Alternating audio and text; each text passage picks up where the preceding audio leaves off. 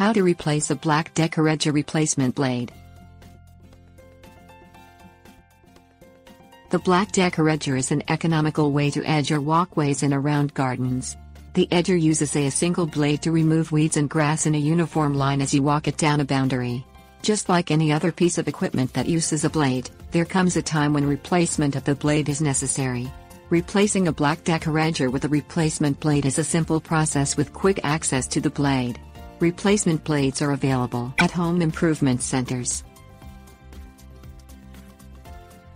Things you'll need Wrench Socket wrench Unplug the black Decker from the power cord. Allow the blade to come to a complete stop before replacing it with a replacement blade. Turn the blade guard lever clockwise toward the direction of the guard until it stops. The lever is near the front of the blade guard. Lift the blade guard up to open it and access the blade. Hold the outer spacer between the blade and the retaining nut with a wrench.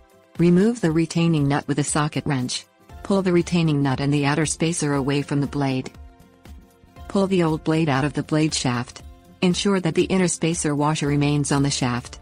Install the black Decker replacement edge blade onto the shaft. Slide the outer spacer over the shaft and thread on the retaining nut. Tighten the nut with a socket wrench.